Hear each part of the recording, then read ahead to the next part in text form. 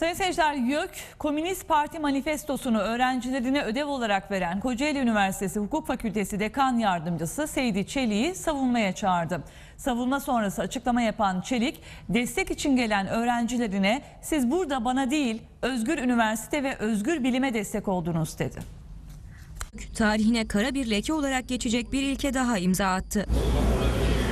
Öğrencilerine Komünist Parti manifestosunu ve Michel Moore'un belgesellerini ödev olarak veren Kocaeli Üniversitesi Hukuk Fakültesi Dekan Yardımcısı, Yardımcı Doçent Doktor Seydi Çelik hakkında soruşturma açıldı. Beni desteklemiyorsunuz. Şu anda üniversiteyi ve özgür bilimi destekliyorsunuz. Hukuk Fakültesi binasında YÖK heyetine savunma veren Çelik'i öğrencileri de yalnız bırakmadı. Adı siyaset bilimi olan bir bölümde Komünist Manifesto'nun okutulması kadar doğal bir şey yoktur.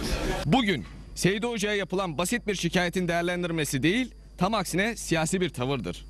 Manifesto bir tarihtir, bilimdir ve yeri üniversitedir. Savunma sonrası öğrencilerle bir araya gelen Çelik karara tepki gösterdi. Okutulan bir belgesel, izletilen bir belgesel ya da okutulan bir kitabın şikayet konusu olması, bu şikayetin Yüksek Öğretim Kurumu tarafından ciddiye alınması akademik özgürlükler açısından pek hoş olmamıştır. Çelik, öğrencilerin bilime sahip çıkmasının gurur verici olduğunu vurguladı. Özgür bir toplum olabilmek için birlikte çalıştık, çabaladık. Ödevler bunun içindi. Bu üniversite kavramı içerisinde baktığınızda sizlerin de üniversiteye ve bilim özgürlüğüne sahip çıkmanızdan dolayı, dolayı doğrusu ben gururluyum.